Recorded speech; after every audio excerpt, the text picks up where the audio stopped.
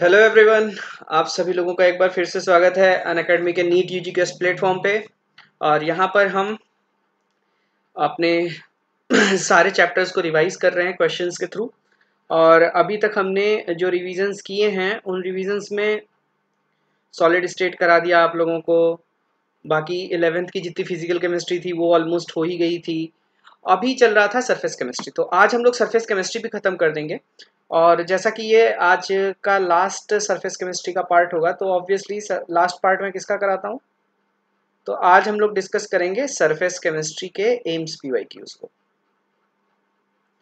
AIIMS के P Y Qs तक आते आते हम लोग काफ़ी इजी हो चुके होते हैं, क्योंकि ऑलरेडी इतने क्वेश्चंस कर चुके हैं कि अब सारा सवाल आपको आसानी लगेगा, ठीक है? तो आज हम लोग ये फिनिश कर देंगे। और जो लोग नए आ रहे हैं उनको मैं बता दूँ कि यहाँ पर हम लोग रिवीजन करते हैं ठीक है?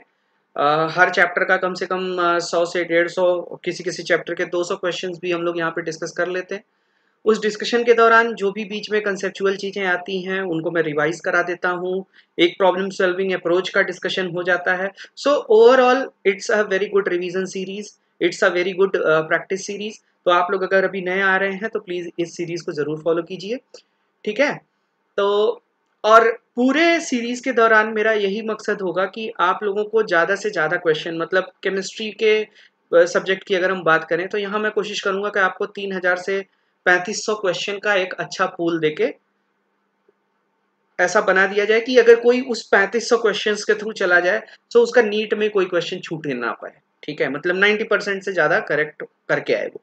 ठीक है तो ऑब्वियसली अभी तक हम जितना भी चैप्टर किए हैं, आप लोगों ने अगर प्रैक्टिस की होगी तो आपने पाया होगा कि it is going to be very useful for everyone है ना?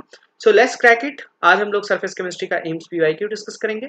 आज का लेक्चर स्टार्ट करने से पहले कुछ एक इंपॉर्टेंट बातें और उन इंपॉर्टेंट बातों में सबसे पहली चीज़ आती है मेरा इंट्रोडक्शन जो लोग अभी इस चैनल पर नए आ रहे हैं, उनको मैं बता दूँ, मेरा नाम शुभम श्रीवास्तव है और मैंने अपनी पोस्ट ग्रेजुएशन कर रखी है बनारस हिंदू यूनिवर्सिटी से। और इसके साथ ही साथ मैंने ऑल इंडिया रैंक 22 सिक्योर की थी C S I R NET के एग्जामिनेशन में, ठीक है? और पिछले सात से ज़्यादा सालों से आप लोगों को मैं पढ़ा रहा हूँ, ठीक है? अब बढ़ते हैं आगे हम लोग, ठीक है? अब आगे बढ़ते हैं हम लोग अरे यार, तुम लोग, जो लोग नए आ रहे हैं, उनको मैं बता दूँ, आप इस समय अन अकेडमी से जुड़ चुके हैं। It is India's best online learning platform ठीक है? सो प्लीज़ अगर आप अपनी तैयारी को और भी बेहतर बनाना चाहते हैं तो सब्सक्रिप्शन के लिए जाइए प्लस सब्सक्रिप्शन के लिए जाइए। प्लस सब्सक्रिप्शन में आपको बहुत सारे बेनिफिट्स मिलते हैं लाइक आपको डेली लाइव क्लासेस मिलती हैं, आपको एक वेल स्ट्रक्चर्ड कोर्स मिलता है लाइव टेस्ट और क्विजेस के थ्रू आपका असेसमेंट किया जाता है। और अगर आपका कोई लेक्चर मिस हो जाता है तो आप वहाँ पर रिकॉर्डेड वीडियोस देख सकते हैं। और आपको ये सारी चीज़ें मिलती हैं बहुत ही कम दाम पे। यू कैन सी कि what is the price of subscription for two years ठीक है? सो so, अगर आप uh, अपनी तैयारी को लेकर सीरियस हैं तो दो साल के सब्सक्रिप्शन के लिए जाइए और मेरा code S H U B H use करना ना भूलिए ठीक है? इससे आपको टेन परसेंट डिस्काउंट मिलेगा। ठीक है? तो उम्मीद करता हूँ सारे लोग आ चुके हैं ठीक है? और हाँ और ये जो भी चीज़ मैं पढ़ाऊँगा इसका आपको पीडीएफ का चिंता करने का ज़रूरत नहीं है ये आपको मेरे टेलीग्राम लिंक पे मिल जाएगा। सो so, शुरू करते हैं आज का final sheet of surface chemistry और कोशिश करेंगे जितनी जल्दी खत्म हो जाए, क्योंकि मैंने बताया था सरफेस केमिस्ट्री देखा जाए तो क्या है? क्या है अपडेट पर कल का है एक अबे मैंने बताया ना कि ये सब चीज़ें अगर पोस्टपोन होनी होगी तो पता चल जाएगा यार। अभी अभी ये मान के चलो, अभी नहीं पोस्टपोन हुआ है, बस। जब तक नोटिस नहीं आ जाता, इन सब चीज़ों का टेंशन क्यों लेते हो यार? है ना? पता चलेगा तो जो है, उसको मान के चलना। अभी ये मान के चलो कि नहीं हुआ पोस्टपोन बस, ठीक है? थ्योरेटिकल है तो थ्योरेटिकल के लिए मैंने बोला था inorganic surface chemistry biomolecule environmental इनके लिए एनसीईआरटी से अगर बाहर भागने की ज़रूरत नहीं है। दैट इज़ एनफ ना? तो चलो क्वेश्चन करते हैं। पर्पल ऑफ़ कैसियस ठीक है? Is a colloidal solution of तुम लोग भैया ज़्यादा अच्छा जानते होगे, बताओ जल्दी से। पर्पल ऑफ़ कैशियस किसका जो है कोलाइडल सोल्यूशन होता है?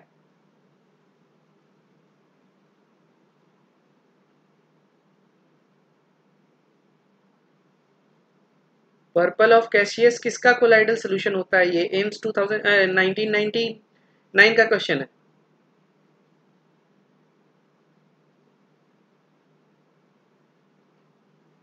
जल्दी बताओ यार गोल्ड होता है, ठीक है? नहीं जानते तो गोल्ड होता है। गोल्ड होता है। Milk is a colloidal solution in which milk क्या होता है? Milk is emulsion milk is an emulsion और इमल्शन क्या होता है? डीपी और डीएम दोनों ही क्या होते हैं? लिक्विड होते हैं। ठीक है? So milk is a colloidal solution जिसमें क्या होता है? लिक्विड डिस्पर्स्ड इन लिक्विड ठीक है? So liquid disperse in liquid ये होगा ए ऑप्शन ठीक है? A option will be the correct one because milk is an emulsion और इमल्शन जो होता है, वो क्या होता है? लिक्विड इन लिक्विड सिस्टम होता है, ठीक है? लिक्विड इन लिक्विड अगर आप डिस्पर्स करते हैं तो उसको हम क्या कहते हैं? इमल्शन कहते हैं। समझ आ गया सबको? मिल्क कैसा है? लिक्विड इन लिक्विड है, ठीक है? फैट इन वाटर है ना? उसको क्या बोलते हैं?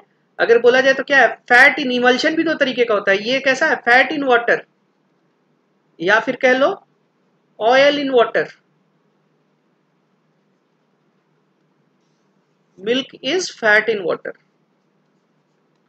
oil in water yes yes Rishika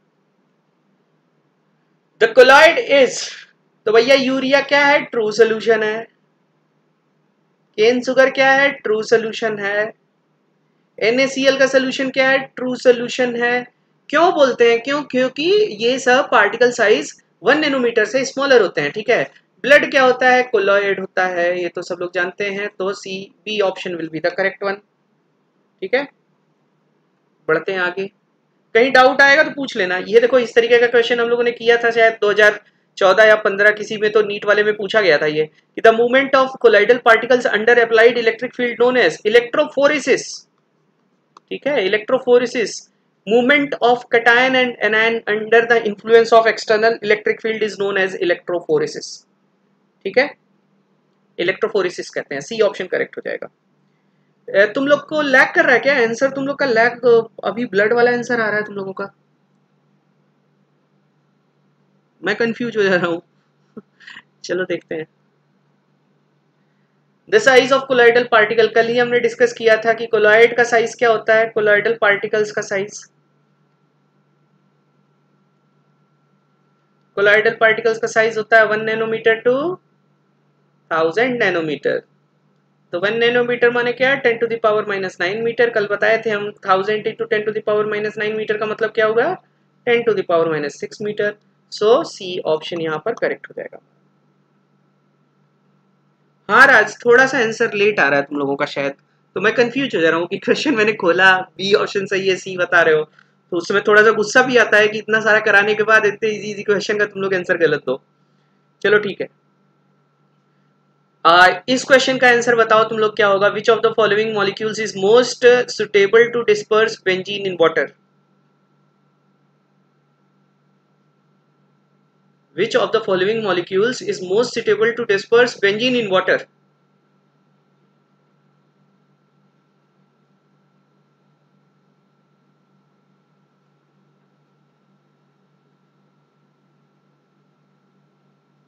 कौन सा होगा? बताओ।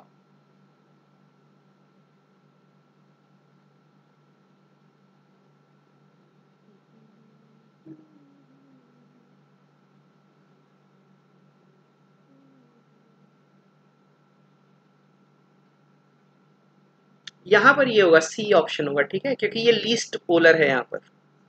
जो लीस्ट पोलर होगा, वो बेंजीन को डिस्पर्स करने के लिए क्या होगा? सबसे अच्छा होगा, ठीक है? तो सी ऑप्शन यहाँ पर करेक्ट होगा। हाँ लीस्ट पोलर कहेंगे least polar catalyst changes the equilibrium constant no activation energy? Yes. Increases the forward and backward at different speed? No. Follow same mechanism for the reaction no certain changes ठीक है? तो lower the activation energy B option correct हो जाएगा. B option will be the correct one मैंने बताया था कि equilibrium constant of any reaction equilibrium constant of any reaction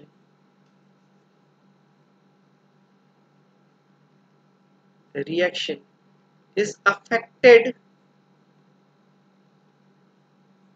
only by temperature ये चीज़ याद रखिएगा आप लोग, कभी भी आप लोगों को कोई बेवकूफ़ ना बनाने पाए। ठीक है? इक्विलिब्रियम कांस्टेंट केवल और केवल टेम्परेचर से होता है। चाहे कैटलिस्ट डाल दो, चाहे जो डाल दो। ठीक है? एक्टिवेशन एनर्जी बदल जाएगी रेट बदल जाएगा। इक्विलिब्रियम कांस्टेंट नहीं बदलेगा, समझे? Le Chatelier principle equilibrium shift हो जाएगा। लेकिन वैल्यू क्या रहेगी? वही रहेगी। कह रहा है कि which of the following is a lyophobic colloidal solution ठीक है? तो लायोफोबिक कोलाइडल अब जैसे स्टार्च प्रोटीन है, ये क्या है लायोफिलिक है? प्रोटीन लायोफिलिक है पॉलीमर वाला सॉल्यूशन ये भी लायोफिलिक है। गोल्ड सोल्यूशन क्या होता है? लायोफोबिक होता है। अनस्टेबल होता है काफ़ी ज़्यादा ये, ठीक है? तो ये बताओ, सबको ये पता है ना कि लायोफोबिक और लायोफिलिक का मतलब सब लोग पढ़ के आए थे ना? लायोफिलिक का स्टेबलाइजेशन कैसे होता है? एक्सेसिव सॉल्वेशन से होता है और लायोफिलिक का कैसे होता है? चार्ज के थ्रू होता है तो इसलिए ज़्यादा अनस्टेबल होते हैं। ये डिफरेंसेस सबको पता है ना? जितने भी जो है तुम्हारे मेटेलिक सॉल्स होंगे, वो सब के सब लायोफोबिक होते हैं, ठीक है? तो गोल्ड सॉल यहाँ पर लायोफोबिक हो जाएगा। चलो, अच्छी बात है, पता है तो। ठीक है? बढ़ते हैं आगे। नेक्स्ट प्रॉब्लम ये क्वेश्चन देखो अच्छा है। ये तो मैं ये एक बार बता दे रहा हूँ बढ़िया से, ठीक है? थोड़ा सा लेंदी क्वेश्चन है न्यूमेरिकल टाइप का है, ठीक है? कह रहे the density of gold is gold is 19 gram per centimetre cube if 1.9 point nine into ten to the power minus four gram of gold is disperse in one litre of water to give a sol having spherical gold particles of radius ten nanometre then the number of gold particles per millimetre cube ठीक है, per millimetre cube of the sol will be तो भाई हमको क्या करना होगा? हमको सबसे पहले ये निकालना होगा कि गोल्ड का टोटल वॉल्यूम कितना है? टोटल गोल्ड का वॉल्यूम कितना है? ठीक है? और एक गोल्ड पार्टिकल का वॉल्यूम कितना होता है? ठीक है? एक गोल्ड पार्टिकल का वॉल्यूम कितना होता है? तो उससे हमको क्या पता चल जाएगा? नंबर ऑफ़ गोल्ड पार्टिकल्स पता चल जाएगा एक लीटर के अंदर। तो एक लीटर के अंदर तुमको अगर नंबर ऑफ़ गोल्ड पार्टिकल्स पता है तो आप एक मिलीमीटर क्यूब के अंदर गोल्ड पार्टिकल्स निकाल सकते हो कि नहीं निकाल सकते हो? सो लेट मी कैलकुलेट यार, राज, हमको आंसर नहीं याद है ना? आंसर याद नहीं है इसका, एक बार कैलकुलेट करके देखना पड़ेगा। न्यूमेरिकल्स के आंसर एक्चुअली याद नहीं रहते यार। ठीक है, देख लेते हैं। Density of gold is 19 gram per centimetre cube ठीक है? और मास दिया हुआ है कितना? 1.9 point nine into ten to the power minus four gram so इसलिए टोटल वॉल्यूम ऑफ़ गोल्ड कितना हो जाएगा? ठीक है टोटल वॉल्यूम ऑफ़ कितना हो जाएगा? मास बाई डेंसिटी होता है ना? M is equal to V into D तो मास बाई डेंसिटी हो जाएगा। So so, 19 divided by 19 divided by 1.9 point nine into ten to the power minus four है ना? तो ये आ जाएगा ten to the power five centimetre cube ten to the power five centimetre cube ठीक है? Mass of gold by density of gold अच्छा mass M by D होगा ना यार, उल्टा हो गया। सॉरी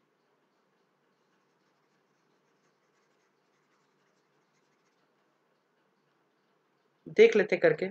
तरीका तो सही है है ना? Mass 1.9 point nine into ten to the power minus four है, ग्राम, और ये है 19 तो इतने सेंटीमीटर क्यूब आएगा तो ये आ जाएगा अपना कितना? ये आ जाएगा लगभग लगभग यहाँ से देखा जाए तो टेन टाइम्स जाएगा टेन टाइम्स जाएगा तो ये ten to the power minus three हो जाना चाहिए, है ना? Ten to the power minus five हो जाना चाहिए।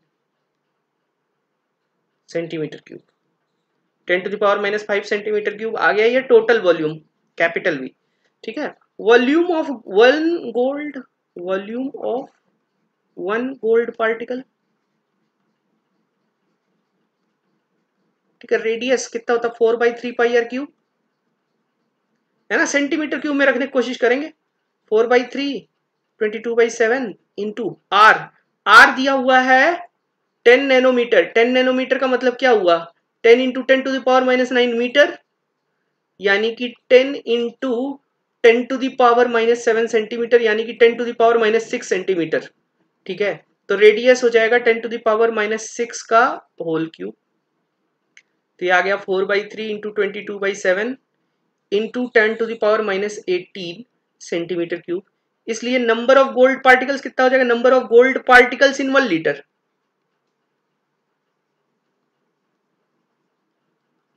in one litre एक लीटर में सब कुछ ये आ रहा है। तो टोटल वॉल्यूम है ten to the power minus five divided by four by three into twenty two by seven into ten to the power minus eighteen इतने आ जाएँगे। ठीक है? तो ये वन लीटर में आया है, ठीक है? तो इसको जरा कैलकुलेट कर लेना। Ten to the power minus eighteen ये थ्री बाई फोर हो जाएगा। ये सेवन बाई ट्वेंटी टू हो जाएगा। ये हो जाएगा ten to the power minus eighteen ऊपर चला जाएगा तो टेन टू दावर थर्टीन हो जाएगा। ये कितना आ रहा है? ये कितना आ रहा है कैलकुलेट करने पर। ये कैलकुलेट करने पे आ रहा है three by four into seven divided by twenty two zero point two three zero point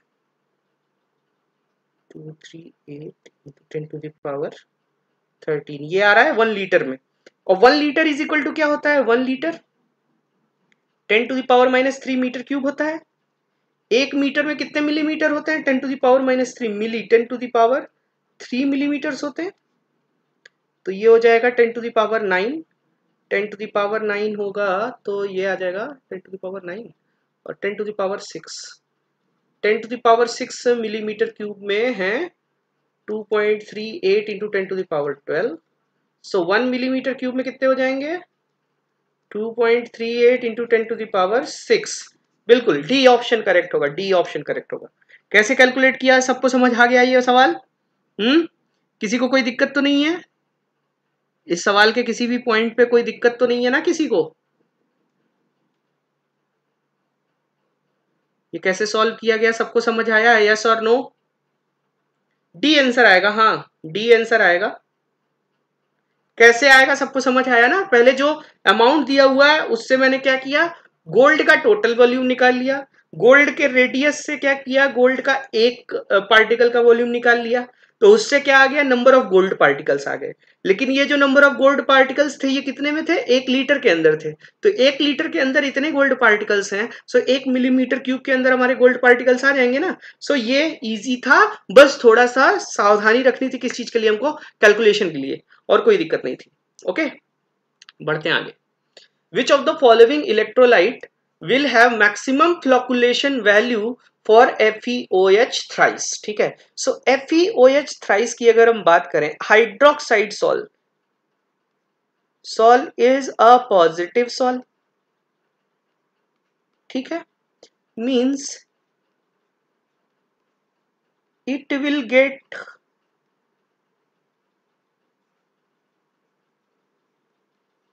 coagulated by anion ठीक है? ठीक है? It will be coagulated by anion ठीक है? Anion with highest charge density will be the most powerful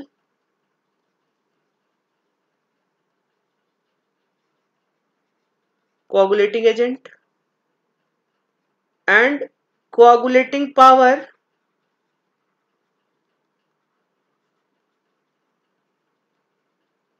is inversely proportional to coagulation value ठीक है तो यहाँ जो हमको दिए हुए चीज़ें हैं जो इंफॉर्मेशन दिए हुए हैं NaCl में कौन है क्लोराइड है है ना? एन ए टू एस में कौन है? एस टू माइनस है।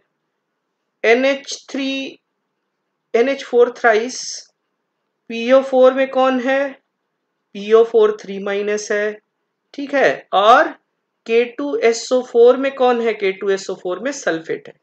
सो so, यहाँ पर it is the most powerful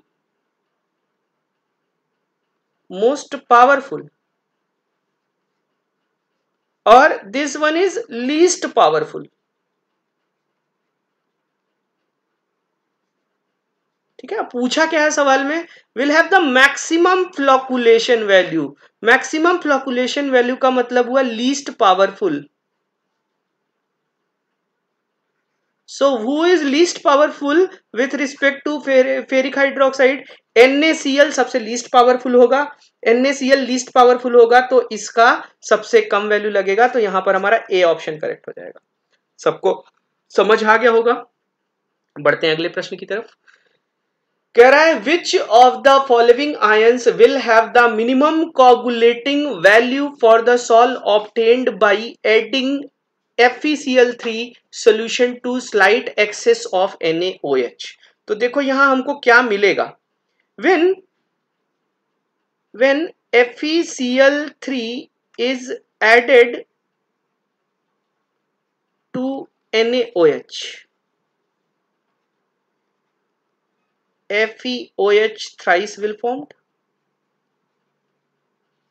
ठीक है पहला पॉइंट दूसरा point due to excess of NaOH. OH minus ions will get adsorbed will get adsorbed on FeOH thrice. क्या बताए थे हम प्रिफरेंशियल एड्सॉर्प्शन ना due to preferential adsorption implies that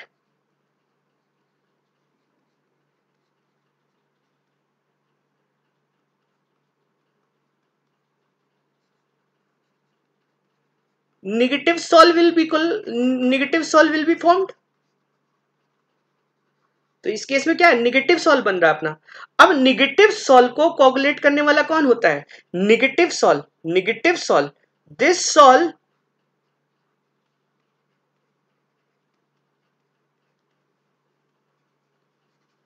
will get coagulated by cation जो cation सबसे तगड़ा वाला होगा वो इसको कॉगुलेट करेगा, है ना? तो यहाँ पर कौन सबसे पावरफुल कटायन हो रहा है? ये देखो एफ़ थ्री प्लस है एल थ्री प्लस है सल्फेट है, ये तो कैंसिल कर दो, ये तो होंगे नहीं।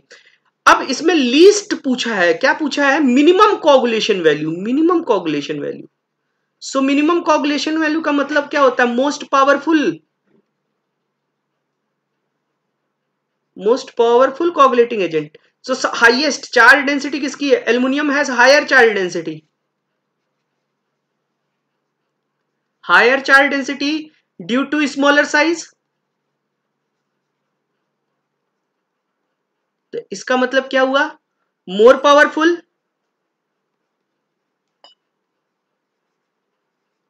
less coagulation value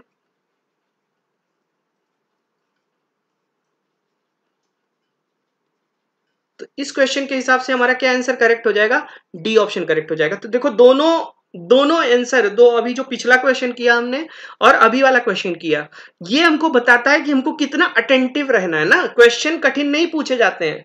आप ही अटेंटिव नहीं रह पाते हो एग्जामिनेशन हॉल में। अब बहुत लोग यहाँ मिनिमम कॉगुलेशन वैल्यू में वो करके चले आएँगे, कौन मिनिमम कॉगुलेट करेगा? कोई सी मार के चला आएगा, कोई कि क्या है कौन सा सॉल बन रहा है? बहुत लोग सल्फेट मार के चले आएँगे कि भैया एनायन तो एक ही दिख रहा है और हाइड्रोक्साइड बनता है तो हाइड्रोक्साइड तो हम पढ़े पॉजिटिव होता है। हाइड्रोक्साइड पॉजिटिव होता है, लेकिन in this case this hydroxide will result into a negative sol ठीक है? तो बहुत ध्यान से क्वेश्चन को देखना है। आई बात समझ में मेरी? हम्म? सहमत हो सभी लोग? अभी ये इजी लग रहा है, ये एग्जामिनेशन में बहुत लोग गलत करके आएँगे। और यही सोच के कि फेरस ये जो फेरिक हाइड्रोक्साइड है, ये पॉजिटिव सॉल है। है, ये वो सोच के सल्फेट मार के चले आएँगे बहुत लोग। तो सल्फेट नहीं मारना था, क्या मारना था यहाँ पर? एल्युमिनियम थ्री प्लस ओके बढ़ते हैं अगले क्वेश्चन की तरफ़। सभी लोग एकदम क्लियर हम्म? आज ये आखिरी है सरफेस केमिस्ट्री का? ओके अब देखो, कह रहा है preparation of lyophobic salt by chemical methods involve तो मैंने बोला था कि for chemical methods for chemical methods refer to NCERT हम बोले थे ना एनसीआरटी में इसके प्रिपरेशन मेथड्स को देखो।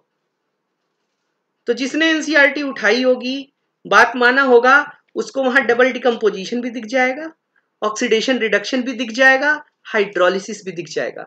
सो so, यानी कि ये सारे मेथड्स केमिकल मेथड से हम लायोफोबिक सॉल्व को प्रिपेयर कर सकते हैं। D option will be the correct one D option will be the correct one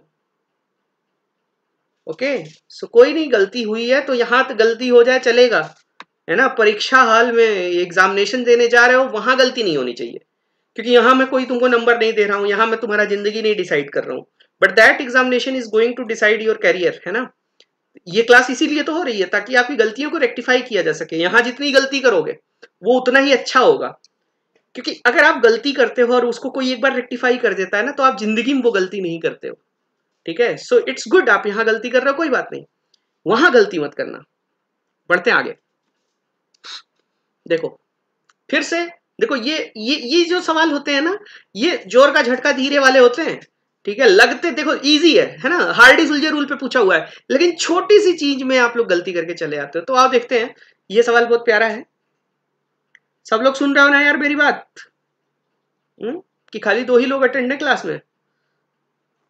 मेरी क्लास में अटेंडेंस इतनी कम क्यों रहती है, मुझे समझ नहीं आता यार। या गाना सुनाऊं, मैं जोक सुनाऊं, बताओ। जिससे ज़्यादा लोग आए, हा? पढ़ाने की बजाय मैं जोक सुनाना शुरू कर देता हूँ, गाना सुनाना शुरू कर देता हूँ, है ना? चुटकुले सुनाना शुरू कर देता हूँ। पढ़ाई की बात बाद में कर लेंगे। देखा जाए। A colloidal solution is subjected to an electrical field the particles move towards node means means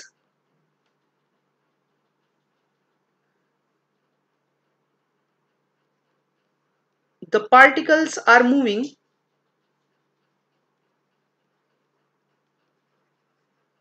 towards positive charge. है ना? नॉर्मली एन नोट का मतलब क्या होता है? पॉजिटिव चार्ज ही तो होता है। तो अगर ये वहाँ पे मूव कर रहे हैं, इसका मतलब the colloid is negative sol if the colloid is negative sol it will get coagulated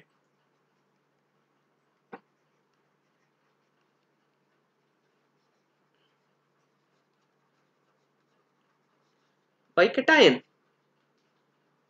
तो पावर के हिसाब से देखना है तो पावर सबसे ज़्यादा किसकी होगी? एल्यूमिनियम थ्री प्लस की होगी, फिर बेरियम टू प्लस की होगी। C option will be the correct answer. ठीक है? बढ़ते हैं आगे।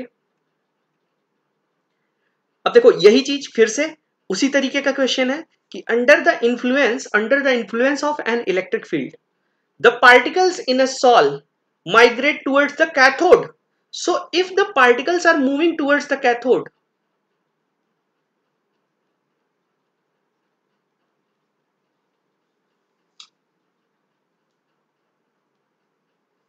the particles are moving towards cathode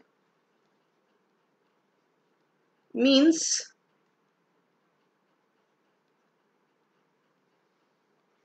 towards negative terminal it means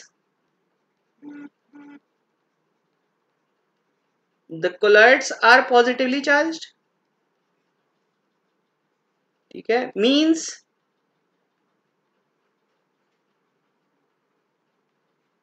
they will get coagulated by they will get coagulated by anions बस अब ध्यान रखना कि यहाँ पर क्या पूछा है, किस चीज़ का ऑर्डर पूछा है, पिछले क्वेश्चन में ऑर्डर पूछा था कोगुलेशन पावर का। यहाँ कोगुलेशन वैल्यू का पूछा हुआ और हमने बताया, आप लोगों को फिर से बता रहे हैं coagulation values are inversely proportional to coagulation power है ना? तो सबसे, अब फॉस्फेट है सल्फेट है, सबसे कम कोगुलेशन पावर इसकी होगी तो हाईएस्ट कोगुलेशन वैल्यू होगी। ए ऑप्शन करेक्ट हो जाएगा क्लोराइड है सल्फेट है और फॉस्फेट है है ना? सो ए ऑप्शन हाँ हाँ बिल्कुल बिल्कुल बिल्कुल। यहाँ ए ऑप्शन करेक्ट हो जाएगा। आई होप सबको समझ आया होगा। बढ़ते हैं अगले क्वेश्चन की तरफ़। देखो, कल एक बात हमने और की थी गोल्ड नंबर की।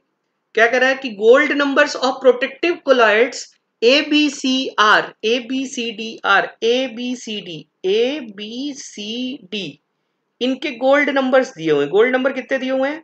एक का भैया 0.5 दिया हुआ है, एक का 0.01 दिया हुआ है, एक का 0.1 दिया हुआ है और एक का 0.005 दिया हुआ है। तो गोल्ड नंबर रिप्रेजेंट किस चीज़ को करता है? एक बार रिवाइज करा देता हूँ मैं। Gold number represents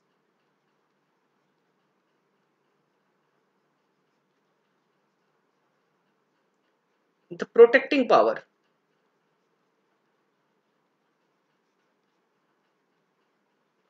है और जो प्रोटेक्टिंग पावर होती हैं। Protecting powers are inversely proportional to gold number जितना कम गोल्ड नंबर रहेगा प्रोटेक्टिंग पावर उतनी हाई होगी। सो so, पावर की बात कर रहा है ठीक है? तो पावर की बात देखना यहाँ पे गोल्ड नंबर का पावर पावर से रिप्रेजेंट करना है। तो पावर किसका सबसे तगड़ा होगा? जिसका गोल्ड नंबर सबसे कम होगा। सो लीस्ट गोल्ड नंबर किसका है? इसका है। सो so, यानी कि डी की पावर सबसे ज़्यादा होगी। डी की पावर सबसे ज़्यादा होगी। दूसरे नंबर पे कौन है? ये है सेकंड नंबर पे। ये फ़र्स्ट पावर सेकंड पावर किसकी होगी? बी की होगी। तीसरे नंबर पे कौन है? सी है। सो सी होगा। और सबसे ज़्यादा गोल्ड नंबर अगर देखा जाए तो ए का दिया हुआ है सो इसकी पावर सबसे कम होगी। So the correct order increasing order क्या हो जाएगा? A C B D A C B D और ए सी बी डी आप कहा देख सकते हो? सी ऑप्शन में। सो सी ऑप्शन करेक्ट होगा, बिल्कुल। ओके सभी लोगों को समझ आ रहा है। हम्म। और जितना मैं करा दिया हूँ, जितना मैंने अभी तक कराया है, तुम लोग सब रिवाइज कर रहे हो ना? ऐसा तो नहीं है मोल करा के छोड़ दिया और वो अब ऐसे पड़ा हुआ है।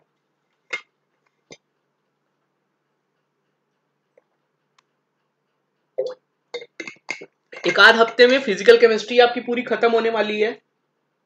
तो कितना हद तक आप लोगों ने रिवाइज कर लिया है? रिवीजन में भी जो मैं बता दिया हूँ, वो पूरा प्रॉपर कर चुके हो ना? क्योंकि एक बार फ़िज़िकल केमिस्ट्री खत्म होगी, दोबारा मैं नहीं छूँगा फ़िज़िकल केमिस्ट्री फिर मैं ऑर्गेनिक या इनऑर्गेनिक पे आऊँगा। सब लोग अच्छे से पढ़ लिए हो ना पूरा? छोड़ना नहीं किसी चीज़ को। हर एक जो स्लाइड है, उसको स्ट्रिक्टली फॉलो करना है आपको। ओके बढ़ते हैं आगे। बढ़ते हैं अगले क्वेश्चन की तरफ़। कह रहा है कि द डीजल डिज़ीज़ काला अजार इज़ कॉज बाई तो भैया, आप लोग बायोलॉजी के स्टूडेंट हो, जरा बताना इसका क्या आंसर होना चाहिए? बायोलॉजी वालों को तो मुझसे ज़्यादा आना चाहिए ये सारी चीज़ें डिज़ीज़ उजीज की बातें हाँ? बताओ। I am waiting for your answer क्या होगा इसका आंसर काला आजार इज़ कॉज्ड बाई किसकी वजह से होता है ये रोग? डॉक्टर बनोगे इतना पता होना चाहिए ना तुम लोग को। जल्दी आंसर करो, जल्दी जल्दी। बिल्कुल बिल्कुल। कोलाइडल एंटीमनी की वजह से काला आजार रोग होता है, ठीक है? गुड बढ़ते आगे। Which one of the following impurities present in the colloidal solutions cannot be removed by electrodialysis? Electrodialysis electrodialysis क्या होता है भाई? अगर हम नॉर्मल डायलिसिस कर रहे हैं नॉर्मल डायलिसिस में क्या किया? ये मेम्ब्रेन है, इसमें कोलाइडल सोल्यूशन रख दिया और इधर डीएम डाल दिया और डीएम को यहाँ से फ्लो करा रहे हैं। ठीक है? इधर से जा रहा है, इधर से जा रहा है। केवल फ्लो के थ्रू हो रहा है। अगर हम यहीं पे इलेक्ट्रिक प्लेट्स लगा दें तो इलेक्ट्रिक प्लेट्स के इन्फ्लुएंस में भी कुछ पार्टिकल्स मूव करना शुरू कर देते हैं। और वो कौन से पार्टिकल होंगे? जो चार्ज पार्टिकल होंगे। सो सोडियम क्लोराइड आयंस है यहाँ पर, यानी कि इसको किया जा सकता है। पोटेशियम सल्फेट आयंस है, इसको भी इलेक्ट्रोडायलिसिस से किया जा सकता है। कैल्शियम क्लोराइड में भी आयंस है, इसको भी किया जा सकता है। यूरिया क्या है? यूरिया नॉन इलेक्ट्रोलाइट है। सो ये केवल और केवल डायलिसिस से होगा इलेक्ट्रोडायलिसिस से नहीं हो पाएगा। ठीक है, या? Charge is necessary for electrodialysis to be implemented ठीक है? इलेक्ट्रोडायलिसिस आप तभी इंप्लीमेंट कर पाओगे जब वहाँ पे चार्ज एटलीस्ट प्रेजेंट हो। चार्ज नहीं प्रेजेंट है तो आप नहीं कर सकते। ओके तो मेरे ख्याल से ये एमसीक्यूज इतने ही थे। हम्म अब हम लोग एजर्शन रीजन वाले कुछ क्वेश्चन कर लेते हैं। एजर्शन रीजन का सबको ट्रेंड पता ही होगा। दोनों सही है? चलो देख लेते हैं। दोनों सही है तो हम क्या मारेंगे? रीजन भी गलत, सही है एजर्शन भी सही है एक्सप्लेनेशन भी सही है तो ए ठीक है? जिसकी कॉलिगेटिव प्रॉपर्टी राज वन हो। ज़रूरी नहीं है कॉलिगेटिव प्रॉपर्टी वन ये क्या बोल रहे हैं? वन टू फैक्टर होता है वो, ठीक है? वी स्पेसिफिक इन टर्म्स और वन इस कॉलिगेटिव प्रॉपर्टी वन कैसे बोल दोगे? है ना? आई वन ऑफ़ फैक्टर ठीक है? तो देखो स्काई अपियर्स ब्लू अब वो सब टर्म तो पता ही है ए कब मारना है बी कब मारना है। स्काई अपियर्स ब्लू हाँ भैया, आसमान नीला होता, हम रोज देखते हैं, यानी कि सही है। Colloidal particles of dust scattered blue light तो ब्लू क्यों होता है? अब आती तो वहाँ से व्हाइट लाइट है। तो लेकिन जो डस्ट पार्टिकल्स हैं, वो स्कैटरिंग करा देते हैं। तो sky appears blue just because of scattering of light so the reason given here is also correct so if assertion and reason both are correct और क्या हो? करेक्ट एक्सप्लेनेशन भी हो सो क्या आंसर होना चाहिए इसका? ए वो सब लोग मेरे साथ ना? कि गायब हो गए हो? ए होगा इसका, सब लोग सहमत हो ना इस बात से? Okay physical absorption physical absorption of molecules takes place on surface only in this process the bonds of the absorbed molecules are broken तो इसका ये कहना physical absorption there is a difference between absorption and adsorption पहली दूसरी line है NCERT की, ठीक है? तो एडजॉर्प्शन भैया सरफेस पे होता है। और एब्जॉर्प्शन सरफेस पे भी होता है बल्क पे भी होता है, ठीक है? समझे? रुई को इंक में डाल दो और चाक को इंक में डालो। चाक को निकाल के तोड़ो। अंदर सफ़ेद रहेगा। रुई को निकाल के तोड़ो। पूरा नीली हो जाएगी। तो रुई में एब्जॉर्प्शन हुआ है, चाक में एब्जॉर्प्शन हुआ है। तो in physical absorption molecules of take place answer no wrong molecule gets absorbed on molecule gets absorbed on surface ये एब्जॉर्प्शन में बल्क में जाता है पूरा, ठीक है?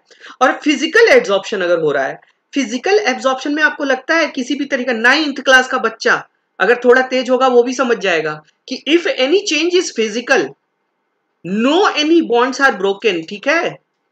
Bonds remain intact only physical state gets change तो अगर कोई फ़िज़िकल चाहे एब्जॉर्प्शन हो रहा है, चाहे फ़िज़िकल एब्जॉर्प्शन हो रहा है बॉन्ड के ऊपर कोई भी फ़र्क नहीं पड़ने वाला है ना?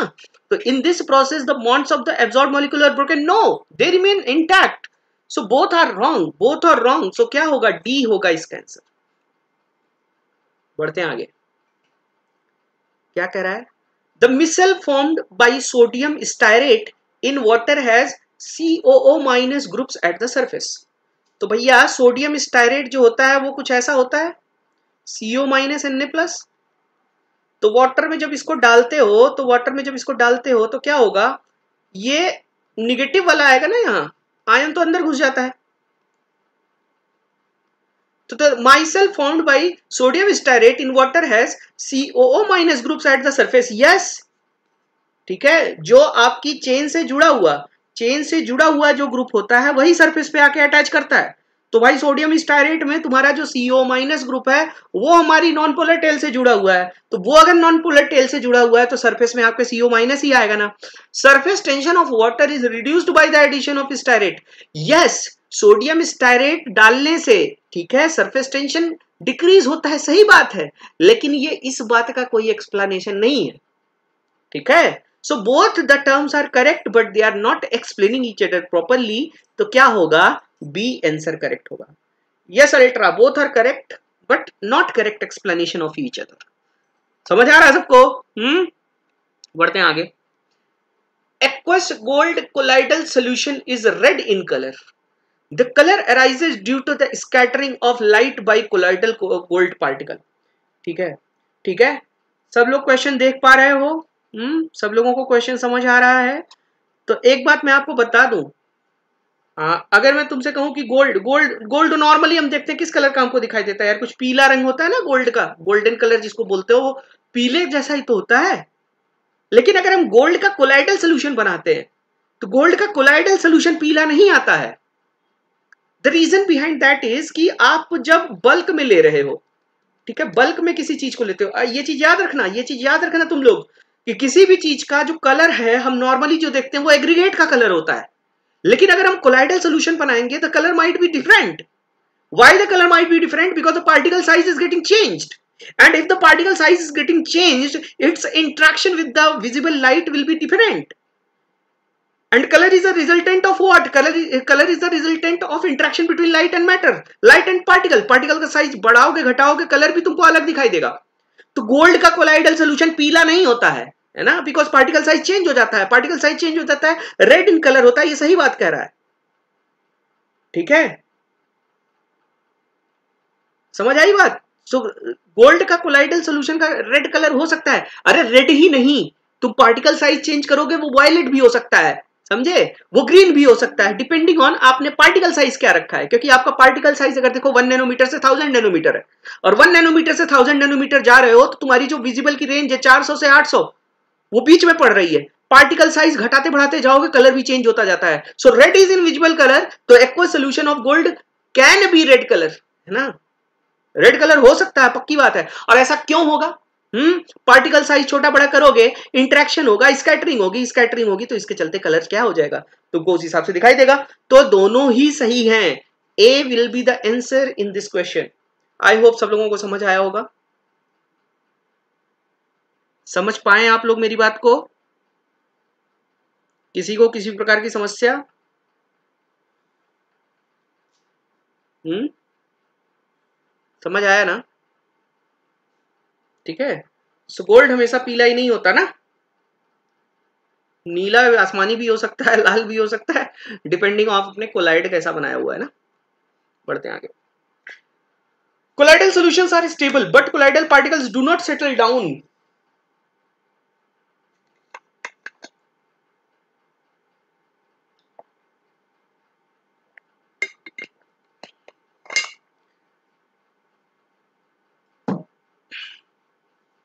देखो कोलाइडल पार्टिकल स्टेबल होते हैं ना लेकिन उनकी जो स्टेबिलिटी होती है ना इंटरमीडिएट होती है। लाइक like, अगर हम ट्रू सोल्यूशन की बात करें सबसे ज़्यादा स्टेबल होता है स्टेबिलिटी के टर्म्स में है ना? सबसे ज़्यादा ट्रू सोल्यूशन होता है फिर कोलॉइड होता है और सबसे कम कौन होता है? सस्पेंशन होता है। तुम देखो दूध है। दूध जैसे होता है दूध मान लो आज आया है ना? आज आपके घर दूध आया। तो वो कोलाइड सोल्यूशन है स्टेबल है रात आज अभी रखोगे, रात में पी सकते हो उसको, सुबह तक हो सकता है यूज़ कर सकते हो। लेकिन कल रात तक वो फट जाएगा। मतलब that milk will get coagulated ठीक है तो स्टेबिलिटी है बट स्टेबिलिटी क्या है? इंटरमीडिएट है। वहीं अगर मैं चीनी का घोल बना के रख देता हूँ, आज बना के रखता हूँ मैं, ढक के रख देता हूँ इवेपरेशन ना हो, एक साल बाद भी वो चीनी का घोल, चीनी का घोल ही रहेगा। अगर टेम्परेचर वगैरह की कंडीशन में सेम रखता हूँ। So this much stability is there और पानी में मिट्टी डाल दूँ अभी के अभी अलग दिखाई देने लगेगा मुझे डीपीडीएम तो stability is very less so colloidal solution stable होते हैं। और इंस्टेंटली सेटल डाउन नहीं होते उसके पीछे रीजन होता है आप लोगों को ब्राउनियन मोशन बताया गया होगा भाई पार्टिकल साइज़ तो कोलाइड में ज़्यादा है। अगर ट्रू सोल्यूशन के कंपैरिजन में देखा जाए तो ये ज़्यादा है लेकिन they are in random motions in they are in random motions तो एक बैठने जा रहा है तब तक इसको आगे ये टक्कर मार दिया। ये बैठने जा रहा है तब तक ये इसको टक्कर मार दिया। सो so, इस तरीके से इनकी जो स्टेबिलिटी रहती है वो थोड़ी देर तक मेंटेन रहती है। ठीक है? बट जैसे जैसे इन पार्टिकल्स की आ, ये कह लो कि आ, क्या बोलते हैं उसको काइनेटिक एनर्जी घटती जाती है ब्राउनियन मोशन का वो इन कम होता जाता है तो ये जो है सेटल हो जाते हैं। सो so, ये स्टेबल तब तक रहते हैं जब तक Brownian motion is under the role ठीक है? तो Brownian motion movement counters the forces of gravity actively on colloidal particles exactly this is the reason कि colloidal solutions are stable for some time है ना? सो स्टेबिलिटी के पीछे तो आपसे कभी भी पूछा जाए कि what is the reason behind stability of colloidal solution so the reason behind stability of colloidal solution is the between uh, dispersed phase particle due to brownian motion. So here a must be the answer. A must be the answer ठीक है पनीर खाओ छेना खाओ जो खाना खाओ ठीक है? पहले ये क्वेश्चन कर लो। चलो भैया क्या है अगला?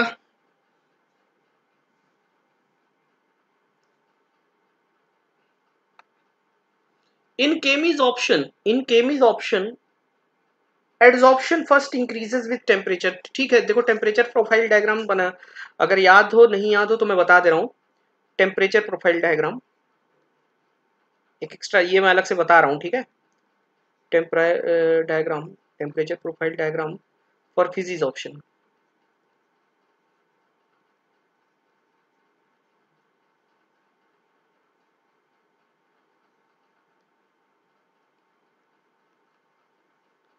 ये टेम्परेचर जैसे जैसे टेम्परेचर बढ़ाओगे फिजिक्स ऑप्शन कम होता जाता है, ठीक है?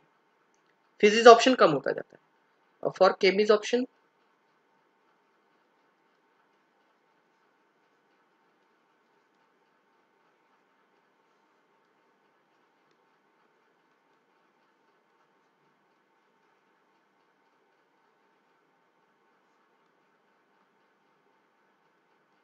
देखो, क्या होता है? फिजिक्स ऑप्शन में। फिजिक्स ऑप्शन में कोई केमिकल बॉन्ड बनना नहीं है है ना? सो so, सब कुछ डिपेंड करता है इंटरेक्शन वंडर वंडरवाल इंटरेक्शन पे ना। और वंडर वंडरवाल इंटरेक्शन जैसे जैसे टेम्परेचर बढ़ाओगे कम होता जाएगा। कम होता जाएगा फिजिक्स ऑप्शन कम होता जाता है। तो आप देखो ग्राफ ऐसा आता है ये घटता जाता है। लेकिन केमिज ऑप्शन तब होता है जब आपका जो एड्जॉर्बेट और एड्जॉर्बेंट मॉलिक्यूल होते हैं वो आपस में एक केमिकल बॉन्ड बनाते हैं ठीक है? दैट इज़ केमिज ऑप्शन तो यार बॉन्ड बनने के लिए एक स्पेसिफिक कंडीशन ज़रूरी है। वार्म ये क्या बोलते हैं बॉन्ड बनने के लिए एक पर्टिकुलर टेम्परेचर पे ये होना ज़रूरी है। तो इनिशियली जब हम टेम्परेचर बढ़ाते हैं टेम्परेचर बढ़ाते हैं तो एक्टिवेट होता है मॉलिक्यूल और जब वो एक्टिवेट होता है तो एक किसी टेम्परेचर पे जाके केमिकल बॉन्ड फॉर्मेशन हो जाता है। सो so, जब तक बॉन्ड फॉर्मेशन नहीं होता तब तक ये फेवर कर रहा है इंक्रीज इन टेम्परेचर एक बार बॉन्ड बन गया। बॉन्ड बनने के बाद आप क्या कर रहे हो आप अगर उस बॉन्ड को तोड़ टेम्परेचर और दोगे तो वो टूटेगा ना यार। वो टूटेगा। तो टूटेगा तो फिर इसके बाद अब अगर टेम्परेचर तुम बढ़ाते हो तो वो डिक्रीज करता है। तो केमीज ऑप्शन में पहले इंक्रीज होता है फिर क्या होता है? डिक्रीज होता है यानी कि ये सही कह रहा है। एजर्शन इज़ करेक्ट अब दूसरा कह रहा है कि heat keeps on providing more and more activation energy ठीक है? तो हीट से क्या है? हीट इसको एक्टिवेशन एनर्जी जो मिनिमम एनर्जी रिक्वायर्ड है हीट वो देती है। ठीक है? तो हीट ने तो ये तो हम्म, ये करेक्ट रीजन नहीं है। ये करेक्ट रीजन नहीं है। ये थोड़ा सा कंट्रोवर्शियल लग रहा है। लेट एक सेकेंड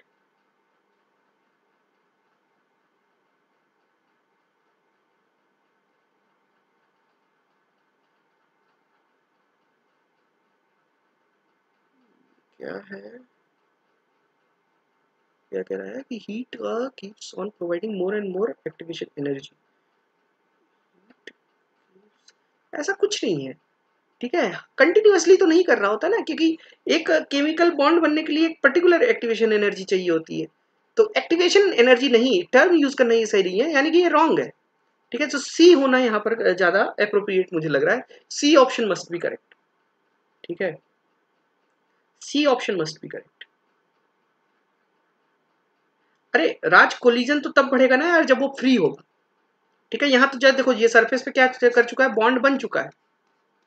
कोलिजन का चांस ही नहीं बन रहा है ठीक है? तो ये सी होगा ये एक्टिवेशन एनर्जी टर्म यहाँ यूज़ करना नहीं चाहिए था इसको। बढ़ते आगे। कह रहा है a catalyst does not alter the equilibrium constant of a reaction yes ये तो सही है।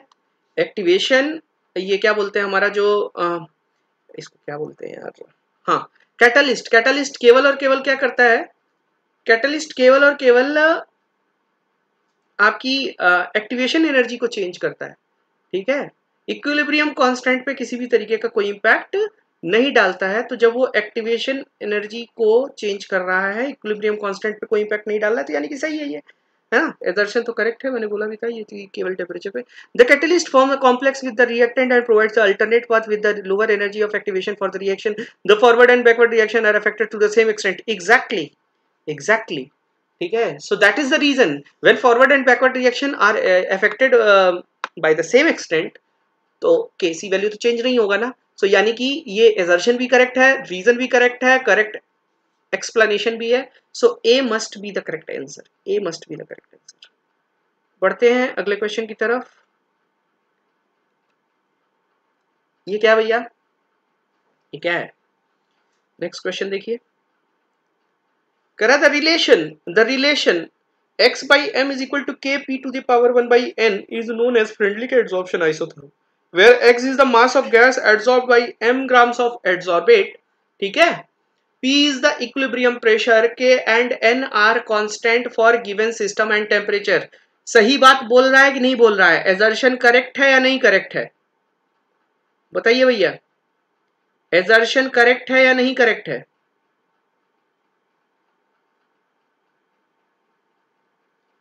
हमने कल बोला भी था आप लोगों को ये फ्रेंडलिक वगैरह एक बार मतलब सारी चीज़ें इस क्लास में आने से पहले एक बार पढ़ के आनी चाहिए। है ना? क्योंकि क्वेश्चन डिस्कशन कर रहे हैं। तो बिल्कुल सही है यार फ्रेंडली एड्सॉप्शन आइसोथर्म में इन सारी चीज़ों का मतलब तो यही होता है ना? ये कुछ और होता है यही होता है ना? सो so, यानी कि assertion is correct assertion is correct कह रहा है कि when several substances have same value of one by n है ना? the lines by which their adsorption isotherm can be represented will meet at any point. तो हमने कल क्या पढ़ा था? हमने कल क्या पढ़ा था कि in their graph if one by n is same if one by n is same the isotherms will be parallel to each other समझे भैया? ये क्या हो जाएँगे? पैरेलल हो जाएँगे। And two parallel lines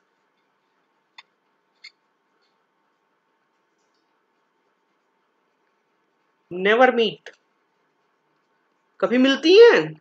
नदी के दो किनारे कभी एक दूसरे से मिलते हैं? नहीं मिलते। ठीक है? तो ये भी कभी नहीं मिलेंगे। ये रीजन गलत बात बोल रहा है। ठीक है? रीजन गलत बात बोल रहा है। तो अगर एजर्शन करेक्ट है और रीजन रॉन्ग है तो हम क्या ऑप्शन मार्क करके आते हैं? हमारा मार्किंग क्या होता है आंसर का? Means for this C will be the correct C will be the correct सब लोग समझ गए? बढ़ते हैं आगे क्वेश्चन की तरफ़. The enthalpy of physisorption is greater than chemisorption यही गलत बोल दिया। ठीक है? Enthalpy of adsorption enthalpy of adsorption की अगर हम बात करें तो physisorption physisorption in general 20 to 40 kilo joule per mole होता है, ठीक है? और केमीज ऑप्शन क्या होता है? 80 टू 40 किलो जूल पर मोल के आसपास होता है। तो वैल्यू से ही ये बात क्लियर है कि फिजिक्स ऑप्शन में कम होगा। तो ये तो बात गलत बोल दिया। Molecules of adsorbate and adsorbent held by van der Waals forces in physics option and by chemical bonds in chemies option molecules of adsorbate and adsorbent are held by van der Waals forces in physics option तो ये तो सही बात लग रही है ठीक है फिजिक्स ऑप्शन में क्या होता है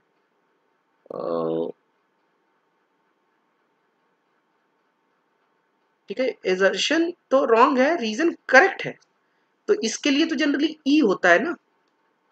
ई e होता है। जो कि अब वैसे पूछा नहीं जाता जनरली ठीक है? तो यहाँ मेरे ख्याल से 2016-17 में पूछा गया तो डी मार्क करके आना चाहिए। वैसे ये सही बोल रहा है। Reason is correct reason is correct physisorption में क्या होता है? फिजिक्स ऑप्शन में तो यार वही होता है ना वंडरबल फोर्सेस होते हैं। और केमिज ऑप्शन में क्या होता है? केमिकल बॉन्ड्स होते हैं। तो मेरे ख्याल से क्वेश्चन उल्टा पूछना चाह रहा होगा, है ना?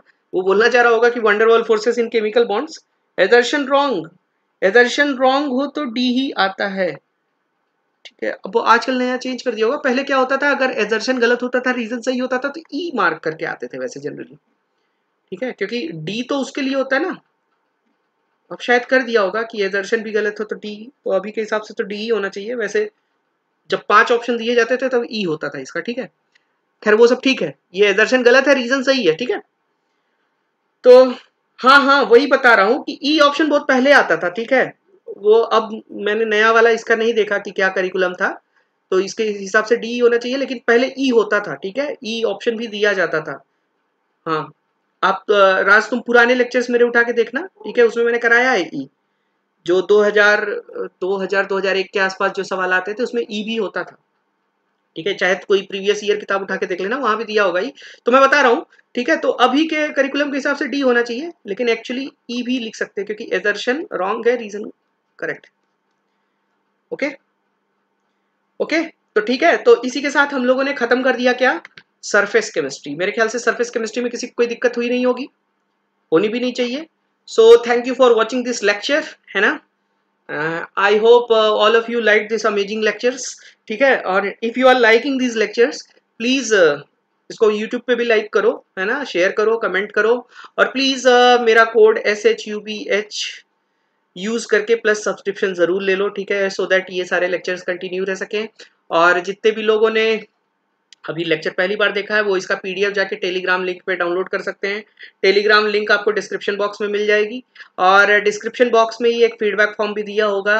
तो आप लोग अगर उस फीडबैक फॉर्म को फॉलो करेंगे, भरेंगे तो अच्छा लगेगा। तो please go for that feedback form और ये मेरा कोड ज़रूर यार जितना ज़्यादा से ज़्यादा शेयर कर सकते हो।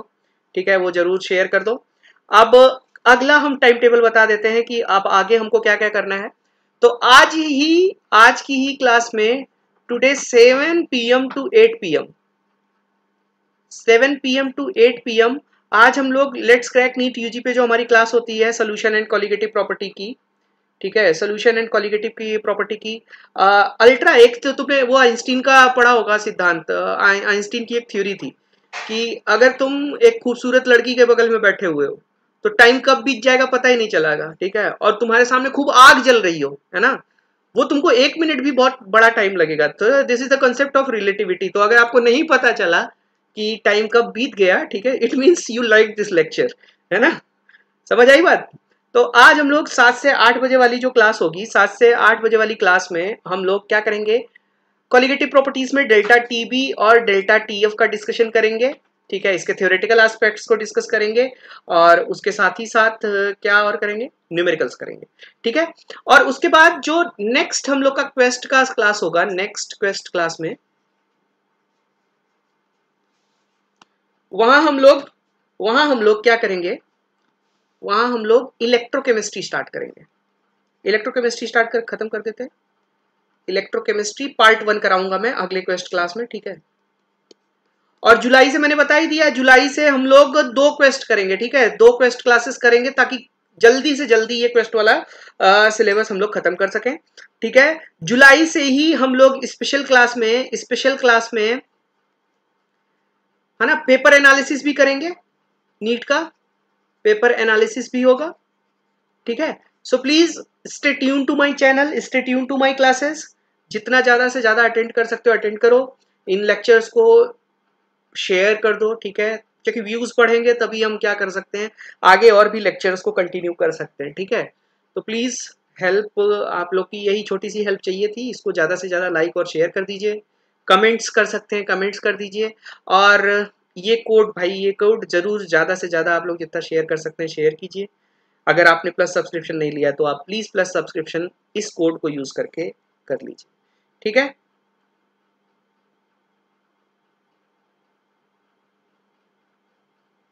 मैं समझा नहीं राज क्या कह रहे हो, बहुत के कोचिंग में ऐसे निकलते हैं lecture.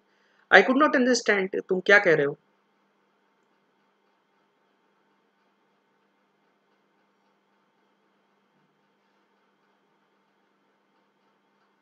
इज़ एवरीथिंग फाइन चलो कोई नहीं। ठीक है तो आप लोग प्लीज़ जाके ये क्या बोलते हैं, ये पीडीएफ को डाउनलोड कर लीजिए। टेलीग्राम लिंक डिस्क्रिप्शन बॉक्स में दी हुई है। ठीक है? और मेरा वही कहना है फिर से कि थ्योरी से ज़्यादा आप लोग क्वेश्चंस पे फोकस किया कीजिए। ठीक है? थ्योरी एक दो बार पढ़ के जितना क्वेश्चन करोगे कंसेप्ट उतना ही क्लियर होगा। ठीक है? So focus more and more on question so let's see you everyone है ना? In the class of 7 PM to 8 PM और आज हम लोग elevation in boiling point and depression in freezing point से रिलेटेड क्वेश्चंस करेंगे। उसका किस तरीके से, क्यों एलिवेशन ही आता है, क्यों डिप्रेशन ही आता है, ठीक है? डिप्रेशन इन फ्रीजिंग पॉइंट ही क्यों बोलते हैं? एलिवेशन इन फ्रीजिंग पॉइंट क्यों नहीं बोल देते, ना? तो ये सारी चीज़ों को डिस्कस करेंगे शाम सात बजे से आठ बजे वाली क्लास में। और प्लीज़ मैक्सिमम लोग रहिए और राज वहाँ पर आप लोगों को बहस करने की ज़रूरत नहीं रहती, ठीक है? आप लोग प्लीज़ आराम से वहाँ लेक्चर अटेंड किया कीजिए। तो उम्मीद करता हूँ, ये लेक्चर अच्छा लगा होगा, इसको लाइक और शेयर कीजिए, और शाम के लेक्चर में मिलते हैं हम लोग डिस्कशन के लिए, ठीक है? तब तक के लिए सभी लोगों को बाय बाय अच्छे से पढ़ाई कीजिए, जितना ज़्यादा से ज़्यादा क्वेश्चन कर सकते हैं, उन क्वेश्चन पे फोकस कीजिए, ठीक है? और अच्छे से एक डॉक्टर बनिए, ठीक है?